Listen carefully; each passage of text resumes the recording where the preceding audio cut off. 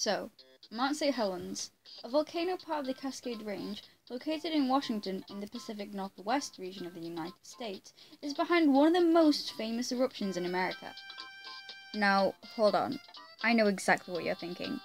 This is one of those super boring class project presentations that you have to do as homework. And yes, indeed, you are very correct. Will this be boring? Definitely. Am I going to enjoy making this? Absolutely not. So you guys are in for a treat because you get to listen to me talk about Mount St. Helens for give or take three or four minutes. Maybe less if I love myself that much. So now I'm gonna shut up with my nonsense and actually get started on this. I also feel really weird and uncomfortable because I'm just sat in my room alone talking to myself, like a weirdo. On the 18th of May, 1980, a major volcanic eruption occurred at Mount St. Helens. The eruption was preceded by a two month series of earthquakes and steam venting episodes caused by an injection of magma at a shallow depth below the volcano that created a large bulge and fracture system on the mountain's north slope. On the day of the eruption, an earthquake at 8:32 a.m. caused the entire weakened north face to slide away, creating the largest landslide ever recorded. This allowed partly molten rock, high pressure gas, and steam rich rock in the volcano to suddenly explode northwards towards Spirit Lake in a hot mix of lava and pulverized over rock, overtaking the avalanching face.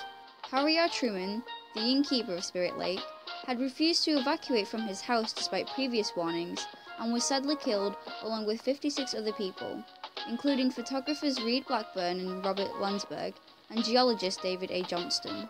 Hundreds of square miles were reduced to wasteland, causing over $1 billion in damage.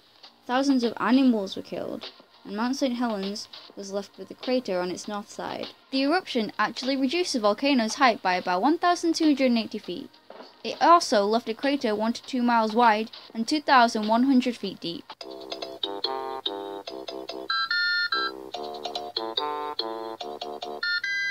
The ash from the volcano spread to 11 other states in America.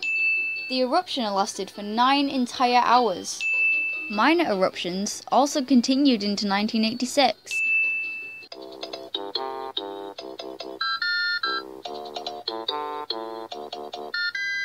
So, I don't think I've ever put this much effort into a homework in my entire life. Until now.